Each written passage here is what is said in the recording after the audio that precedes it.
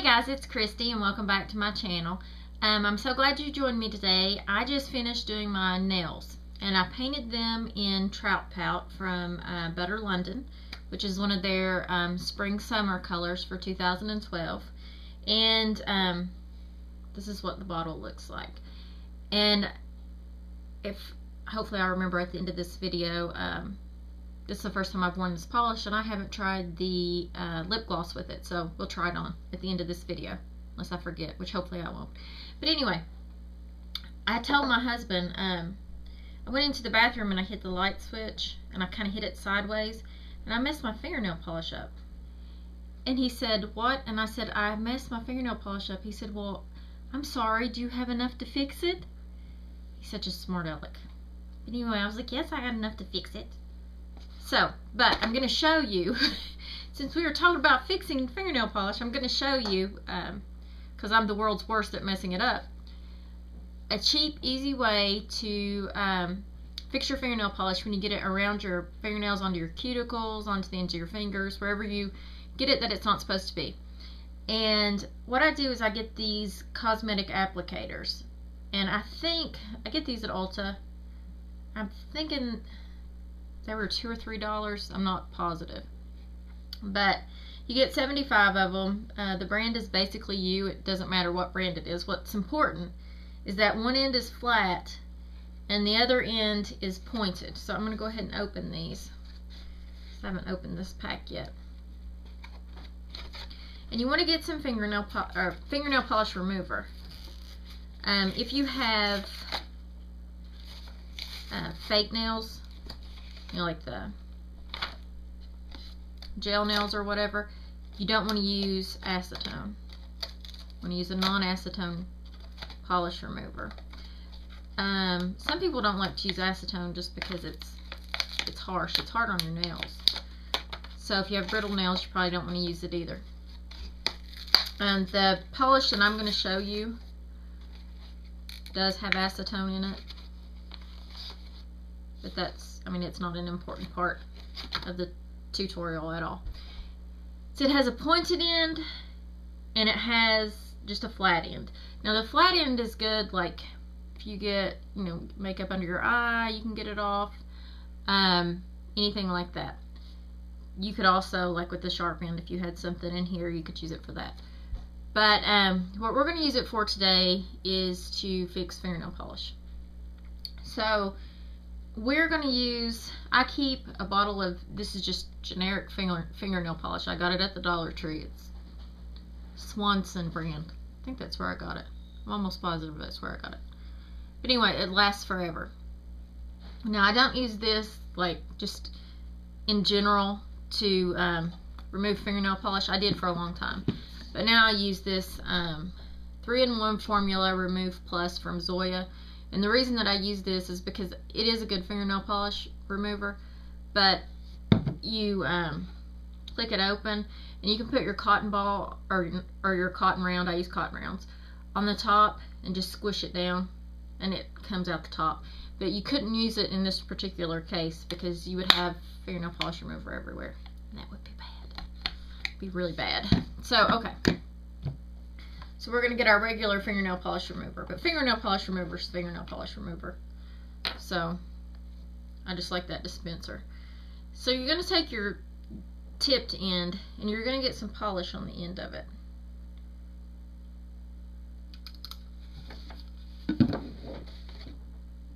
And then once you do that, you find one that needs to be fixed.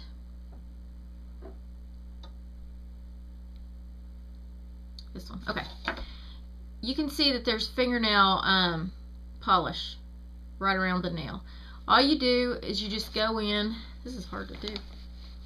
And um, just take your fingernail, your Q-tip, and just go around where that fingernail polish needs to be removed. Just like that.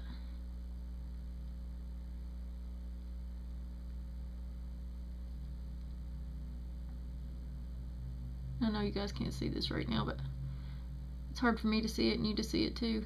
Just kind of sad.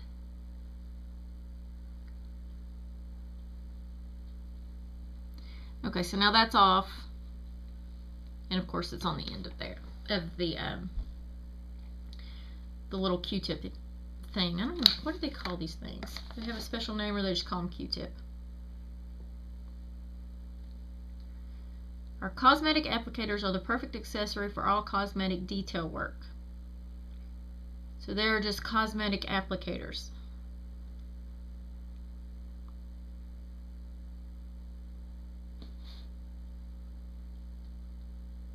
You can use them to fix your fingernail polish. You can use them to make a smoky. I don't know how you'd use it to make a smoky eye. You know, maybe you could. I don't know. Uh, concealer touch-ups, eyeshadow. You well, you could use it to build eyeshadow on. Or lip liner blending. Don't stick it in your ear. You know that's a weird thing about Q-tips. I stick them in my ear. Everybody sticks them in their ear, but they specifically say on the Q-tip bottle, don't or Q-tip bottle on the Q-tip packaging, don't stick them in your ear. And then if you'll notice, they have like these little pictures on the back. Shows you all the different things that you can do with Q-tips, none of which include sticking them in your ear. Now you know good and well that they know that we're sticking them in our ears. And they're probably sticking them in their ears too. But anyway, that's just neither here nor there. So I told you after I showed you that, I would show you the finger, or not fingernail polish, I would show you the lip gloss with the fingernail polish. And here we go. So, I'm going to use this to get that off.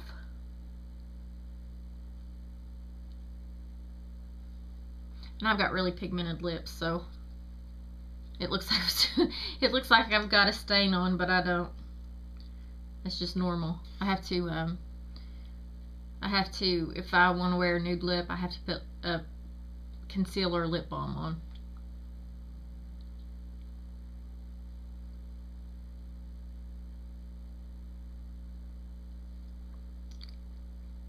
These things are so pretty, but they taste so nasty.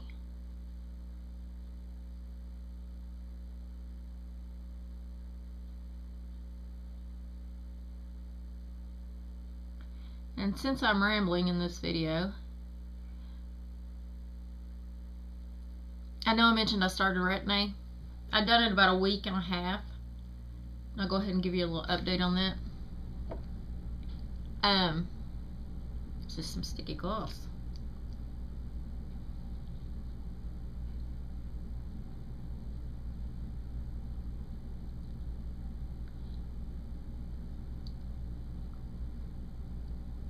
I know you're waiting for the update.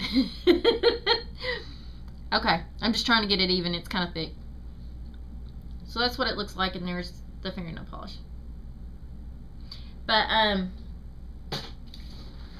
so I started Retin-A like a week and a half ago, and, um, you know, I've had, I've had support on YouTube going through this kind of process thing, and it was really scary to start it just because I didn't know what was going to happen. And um, so I, the way I got started on Retin-A, I would love to have started Retin-A forever ago if my dermatologist would have given it to me. But um, I had some blackheads. I had a couple here, and I got some here. And I went to the doctor, and I go once a year just to have my moles checked for um, skin cancer. I'll tell you about that in just a second. I don't have skin cancer, but um, but anyway, so I went to have my moles checked, and when I was there, I told him you know, I got these blackheads are driving me crazy. I've been using this little brush. I've, you know, I do all these things. I've exfoliated all this stuff. He's like, your face, it's not because your face is dirty. I'm like, I know that blackheads are dirt, but I want them gone. So he said, well, let's use Retin-A. And I was like, woohoo, because, you know, that has anti-aging benefits. So I'm all about that. So I was like, sign me up. So he puts me on this Retin-A stuff, and he gave me the Retin-A micro pump and um, so I got the pump and I started. I just took it. I'm taking it like every other day. I take it one day, you know, put it on my face at night, and then I don't put any moisturizer or anything over it. And then the next morning I use my BB cream, and the next night I use um, just my regular moisturizers and things. And I've just about got my routine straightened out. It's not completely there, but when it gets there, I'll update my original skincare video to include, um, you know, the Retin-A routine. But anyway, I was afraid that you know all these horrible things were going to happen to me. Like, you know, my face was going to peel. It was going to turn bright red. It was going to be painful. Like, I had all these worries, and um, it really has been for me. It's been a really easy experience. I've had, you know, uh, I had some good support as far as people on YouTube saying, you know, start slow, don't jump right into it and everything. So I've done it every other night for a week and a half. Um, I've never had any stinging or burning when I put it on my face. The first couple nights, like maybe two or three hours after I put it on, you know, the I did it one night and then I didn't do it the next night and then I did it the next night. Um, it would itch a little bit, and then other than that, I really haven't had anything besides just like really mild redness. I haven't had any peeling. I haven't had any problems at all. I haven't had any breakouts. You know, they weren't on the the thing if you're using it for any, you know, acne or anything like that, that it may get worse. Nothing's really, you know, getting worse or anything. So I've been really blessed with this whole retin-A experience. I don't know if it's because it's the micro. I don't know if it's because, um, you know, I started off slow or or maybe my skin's a lot, you know, what they call it, tough as nails. you know, maybe it's not as sensitive as I thought it was because, you know, stuff can break me out. But um, I haven't had any of the peeling, any intense redness, or anything like that. You know, I've had, I've gotten a little bit red, but as far as like really red or having anything that's been painful or even, you know, even the redness that I've had, it was like the first day it felt like a very mild sunburn. I mean, you couldn't really see it, maybe like a little bit here and a little bit there, but that's kind of what it felt like, and only when I touched my face. So I've been doing really well with that. Um, the reason I go to the skin doctor or the dermatologist once a year is because I've always, I guess I had my first mole removed when I was a, I was a teen, I know. And I can't remember if I was in late middle school or early in high school. I can't remember. But anyway, um, I've had several moles removed throughout my life. I've never been, I mean, my mom always kept sunscreen on us. I'd never really been in the sun, never been exposed to um, the tanning bed or anything like that. But for some reason, I just have these moles that have abnormal cells. And it doesn't, I mean, they'll, they'll do a biopsy like you know, they did, I've had several taken off. You know, they did one about three years ago, and then I was clean for two years and didn't have to have any taken off, and this year I had to have one taken off. Um, and what they do, it's pretty painless. You just go in and they look head to toe, and if they see something they don't like, then they do a biopsy, which basically the most painful part is giving you a, an injection underneath the mole, and they just scrape it out. Is what they do. And then they send it off to a lab and if it comes back okay then you're good to go. Don't worry about it. But if it comes back abnormal cells they have to go in and like cut all the way around the mole and you know take the skin out. You end up with some stitches. But um, even the surgeries uh, I've had I've had two. No three. Um, and I'm getting ready to have another one even the surgeries, they're not. Well, no, I've had two surgeries that required stitches. One that came back bad. They went ahead when they took it the first time. They when they biopsied it because it it was huge and it was like kind of it had like white spots in it. They went ahead and took um, all the skin around it, so I didn't have to go back in for a surgery. They did it during the biopsy. But um, so I guess I've had two. I'm getting ready to have a third one. Uh, they just, they don't even put you to sleep. You just go in and they just give you a shot in the site. Now, when you're going in for the surgery part, it's not one shot, it's, you know, three or four.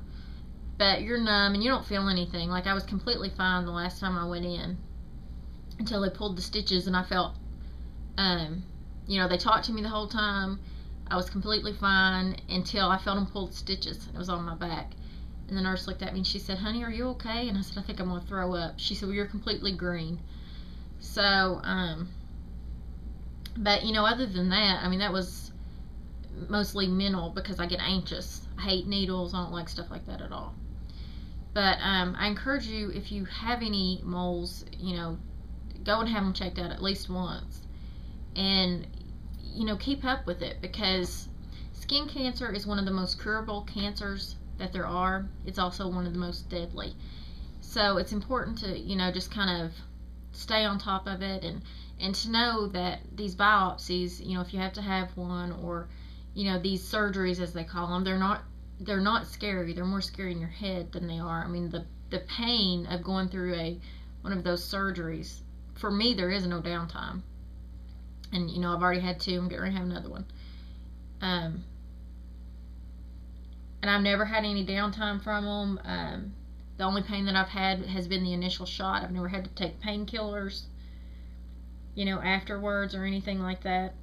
I mean, it's not. It sounds like a bigger deal than it is. It sounds scarier than it is, but um, you know, I just encourage you to go and and get on looked at because you matter and you matter to other people and you matter to me. And uh, you know, I don't want anybody to have to. That's the most horrible feeling to get that call that says you've got abnormal cells. But I can't imagine what the call would be if I got the call and they said, you know, it's skin cancer. So I don't want that to happen to any of you. And I know your family doesn't want it to happen to you, so you need to take care of yourself. Make sure you wear sunscreen. You know, make sure you're seeing the dermatologist, um, or at least you know having your family doctor look at moles that you know may look abnormal. And you know what I'm going to do? I'm going to I'll link or I'll put some pictures or I'll do something on my blog and I'll link it below so that you can see what moles look bad and you know you can decide whether or not you need to go and get kind of get checked out. So, anyway, that surgery is going to happen April the 5th. And, um, yeah, so, but I'll be fine. I mean, there'll be no YouTube downtime. That It's mostly just, you know, it's in my head. So, um, but anyway, yeah, I'm just, I'm thankful that I have the opportunity to have it taken off. And that's just the way that I look at it. That's another day. Every scar that, every mole that I've had removed, I look at that as that is a blessing you know, that's God gave me that one. He said, you know, here you go. That's that's my little trophy. I beat it, you know, that time. So, um, and they don't look that bad. They really don't. The little places from getting them taken off, because I was really worried about that too. But um, anyway, if you have any questions about skin cancer, um, or abnormal cells, or uh, what else did I talk about? retinol or uh, how to fix your fingernail polish or uh, that that lippy thing from butter just let me know and don't forget to comment rate and subscribe and i'll see you guys later. Thanks. Bye